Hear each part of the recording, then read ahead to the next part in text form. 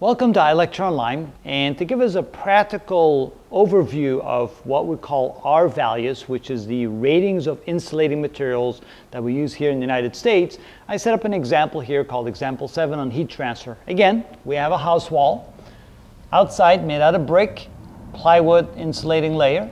Then we have a, a, a, region between the studs. Of course, we use 2 by 4s They're about 3.5 inches wide.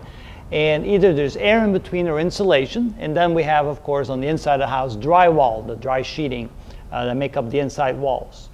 And the R ratings of those various materials are listed here. But before we take a look at those, again, let's go to the basics. The amount of heat transferred across any uh, material is equal to Ka delta T over L. And of course, if you put the K down here, it's L over K in the denominator. And if there's multiple layers, we write the equation like this, where L over K is accounted for for each layer.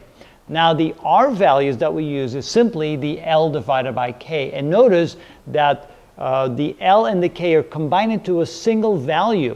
Now that happens because we know typically the thickness of these things. For example, brick is typically four inches thick, the insulation layer inside is typically three and a half inches and so forth. So we have certain R values for materials associated also with, of course, their thickness.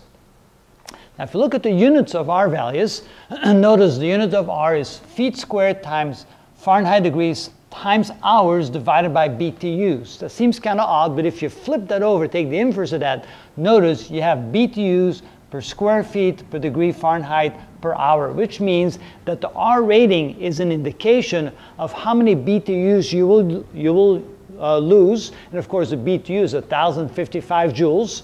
So how many BTUs you will use per square foot of surface of the wall per Fahrenheit degree difference between the inside and outside and per hour. And of course, you want to minimize that. And of course, minimizing that means you want the biggest R values possible.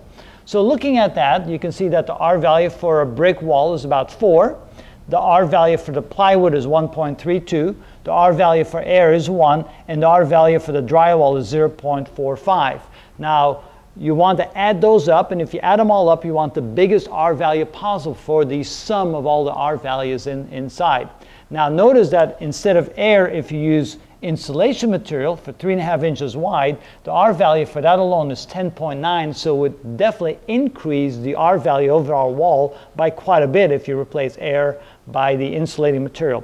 And then if you use insulating material, of course, in the ceiling, but in the roof area between the uh, roof ceiling and the outside wall, and typically you have about 11 inches of space there, then you can see that if you put 11 inches of insulation material there, you have an enormous R value, therefore minimizing the, the heat loss to the roof and to the ceiling tremendously. You can usually tell when you go to a cold place when there's a lot of snow and snow falls on the houses in the wintertime, then those houses that have a very large amount of insulation in the ceiling, that snow doesn't melt because very little heat will rise up through the ceiling and, and, and therefore not melt the snow. Those houses where you see the snow readily melt off the roofs, they usually don't have much insulation or no insulation at all, and lots of heat then transfers through the ceiling, to the roof, to the snow, and melts off the snow. So usually houses that keep the snow on the roofs for a very long time are the ones that have a lot of R value into their ceilings.